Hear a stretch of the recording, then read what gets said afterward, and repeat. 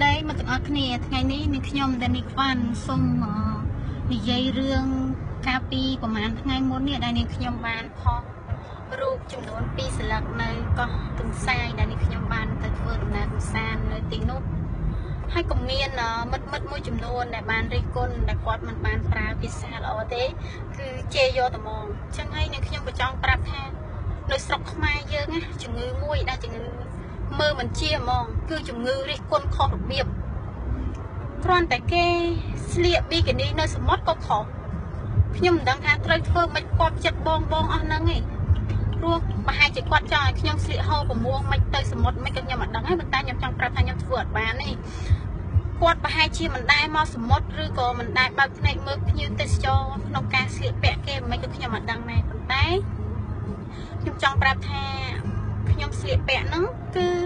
ជាចំណងចំណូលចិត្តរបស់ខ្ញុំឯងមនុស្សយើងរបៀបការស្លៀកពាក់ការចូលចិត្តគឺមានចំណងចំណូលចិត្តខុសគ្នាដូចជាបងបងស្រីស្រីខ្លះគាត់ទៅលេងសមុទ្រគាត់ស្លៀកពាក់តាមស្ទាយរបស់គាត់ការចូលចិត្តរបស់គាត់អញ្ចឹងហើយ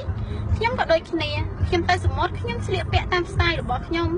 ដូចជាមិនមានអីខុសទេខ្ញុំមិនបានស្លៀកចូលវត្តទេអ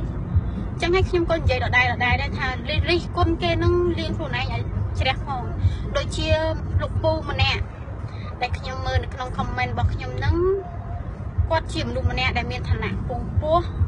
មានយុស័កប៉ុន្តែភាសាគាត់និយាយមកគឺស្ដាប់អត់ចូលទៅជាហ្មងគាត់សួរខ្ញុំថាតើតម្លៃខ្លួនខ្ញុំហ្នឹងប្រហែលគាត់ចង់យកទៅគេខ្ញុំចង់ប្រាប់ថាលោកពូឯងកុំថាឡើយត្រឹមយកទៅគេសំបីចង់កញ្ចក់ខ្ញុំក៏មិនបានប៉ះដែរពូឯងមានឋានៈមានយុស័កតែចរិតពូឯងអន់ជាខ្សាត់ឆ្កែទៅទៀត ខ្ញុំគិតថាបើសិនជាលោកពូឯងហ្នឹងយកលុយកាក់លោកពូឯងមកទិញខ្លួនខ្ញុំហ្នឹងលោកពូឯងយកលុយហ្នឹងទៅជួយចាស់ចាស់ជរាខ្ញុំគិតថាលោកពូឯងហ្នឹងប្រហែលជាមានមុខមាត់ជាងអាចឡើងយុសាក់ថែមទៀតប៉ុន្តែលោកពូឯងយកភាសាស័ព្ទមកនិយាយអញ្ចឹងខ្ញុំមិនដឹងនិយាយមិនទេនេះខ្ញុំអត់និយាយអត់ចំឈ្មោះណាបើសិនជានៅតែបន្តនិយាយចំពោះខ្ញុំបែបហ្នឹងទៀតខ្ញុំនឹងបញ្ចេញឈ្មោះហើយព្រោះលោកឯងនឹងជាមនុស្សម្នាក់ដែលមានឋានៈមានមុខមាត់ក្នុងសង្គមដែរអញ្ចឹងហើយកុំឲ្យខ្ញុំក្មេងបោអាក្រាត